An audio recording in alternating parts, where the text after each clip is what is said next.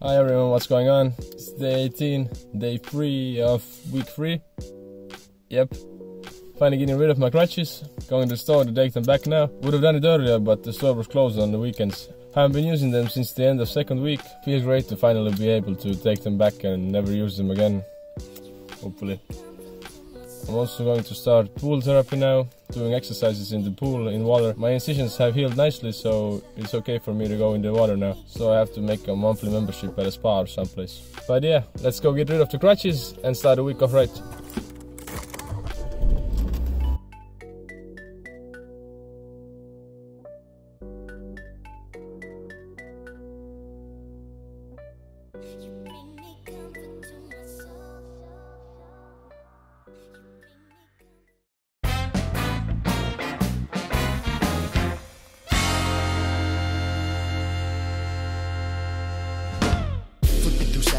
SoundCloud, but none of these beats fill me. I hit up the pal now. I'm starting to get the feelings of needing to shout loud. My heart is the full is beating. I'm hitting the clouds. Wow, I'm high as my ceiling. But I don't know where to go with the flow. I'm hoping dopamine. No, I'm overflowing with thoughts in the moment. Stuck in the zone where I'm feeling like I just might steal a bike. Fucking just peel a fire. Don't know if it's real or lies. This life that we live in down.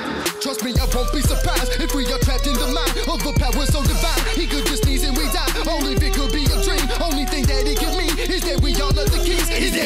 the kings. Open your eyes and you'll see. Cry till the mirror is pleased. Give God the glory, repeat. Only mission is to spit until I'm rich and listen to my shit inside the bins with friends that bitch and kids and wish a bitch that diss me then. Send a text, they miss me then. I'm fixing them. A freaking blend of sick and pain and kicking them and shit. They been like six, you can just flicking and just snapping. Half like Batman's back. Aladdin's magic, mad on tracks. How this paper out the facts. Every done you have to ask. Is it a dream and I'm starting to scheme?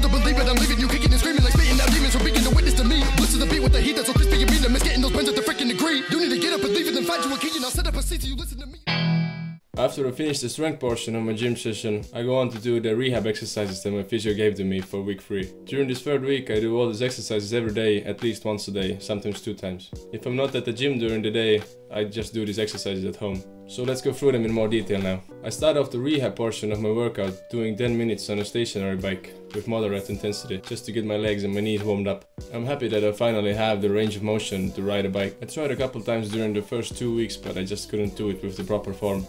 This week I've added quarter squats to my routine. I like to do these with a resistance band around my knees to make sure they don't cave in and I have correct form and positioning on every rep. I go down about 45 degrees for now. It's good to have a mirror in front of you or film yourself doing these exercises to make sure you avoid doing any major mistakes like having a hip hike or doing all the work with a healthy leg. From the squats I move on to standing abductor raises that I also do with band resistance. When doing these standing up I do about 50 reps but when laying down I do about 30. It's harder to do this exercise laying down. If it gets too easy you can move the band closer to your ankles to get more resistance. Third exercise in my current routine is wall sits. As you can see I use a resistance band for this exercise as well to work on the stabilizing muscles in my legs. For the wall sits I just get down to a quarter squat position and support myself against a wall or a pole or anything that's available, while at all times trying to make sure my legs do the equal amount of work. I finish off my gym session doing some single leg balancing exercises. There are many different variations of this exercise that you can do. In the beginning when first starting out, just stand on the injured leg and try not to fall. When it gets too easy and you can do 90 seconds comfortably, you can add on elements like moving your non-injured foot in different directions, touching your hands with the foot, or just anything that makes the exercise harder. Another variation is also closing your eyes while doing the exercise. That really makes it extra difficult. If you don't believe me, stand up right now on one leg with your eyes open. Do that for about 10 seconds. Then close your eyes and try to do that for about 10 seconds. You can see which one was harder. If that's all mastered, then you can do stuff like calf raises with one foot, or throw a ball against the wall and catch it while balancing yourself on one leg.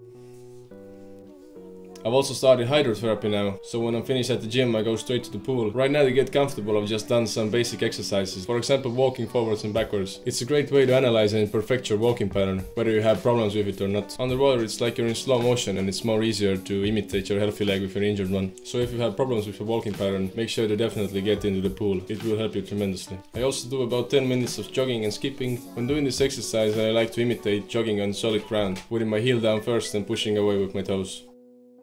Another good exercise to do in the pool is sidestepping against the water pressure. When you have the injured leg in front, make sure to pull with it. When your injured leg is following, try to push your body with the injured leg. That helps you with your hip flexors, glutes and overall balancing. Work on my range of motion, I do about 15 reps of pulling my knee to my chest and just letting my leg fall freely as far as it goes. During this stage of recovery I don't want to put too much pressure on my leg and force the flexion too much. But if you feel comfortable and your physician has given you permission, you can also grab on your ankle with one hand and try to increase your range of motion.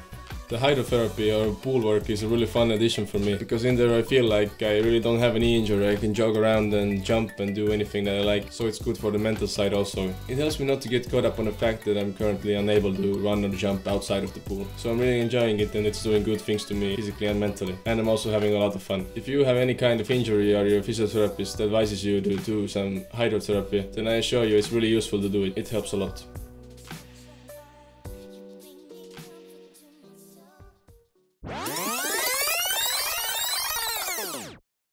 Again, it's day 21, last day of week 3. Just got back home from workout, went to the gym, did some pool movements. That was my third workout of the week again. Feeling really happy to be back to the gym consistently. Also did three sessions of hydrotherapy or just playing around the pool for now. At the start of the week I was finally able to ride a bike for the first time and now I'm already adding intensity and making my workouts harder. Right now I'm just using the bike to warm up for my exercises, but I think the next week I'll start riding the bike more. As of weight training, I've still continued training my upper body, doing pull-ups, different back movements, shoulder movements, chest movements. Also because the gyms that I go to are not the best equipped, then I have to work around some things and for example I've done chest supported rows for my back because I can't do barbell rows yet.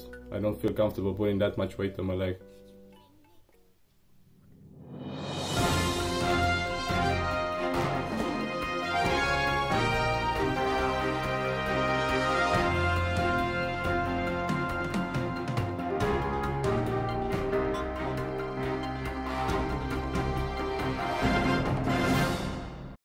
Wanted to give you guys a quick update about my flexion and extension as of this morning. It's coming along nicely and right now I have about 130 degrees flexion, which is really good compared to the first week where I had 90. Although in the first video I told you that my doctor advised me not to go past 90 degrees in the first three weeks, he also told me that when I'm not forcing it, it's okay to go past that. As for extension, when I put the pillow under my heel, it eventually goes to the same level of extension as the healthy leg. But there's still a considerable amount of swelling, so it takes a little time and it will get better as the swelling gets down. Another thing I wanted to talk about is my walking pattern. I showed you a clip in the last video where I was compensating a little bit with my right leg leg or my healthy leg. But at the end of week 3 I feel like I'm not compensating anymore and I can walk freely.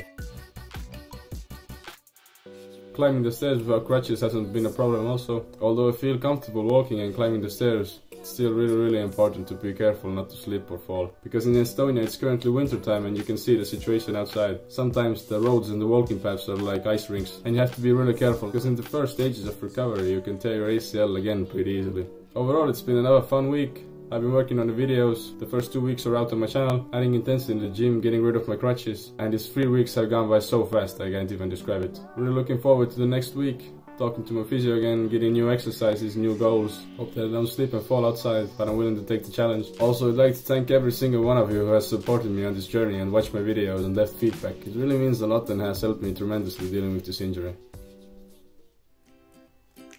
So that's it for week 3.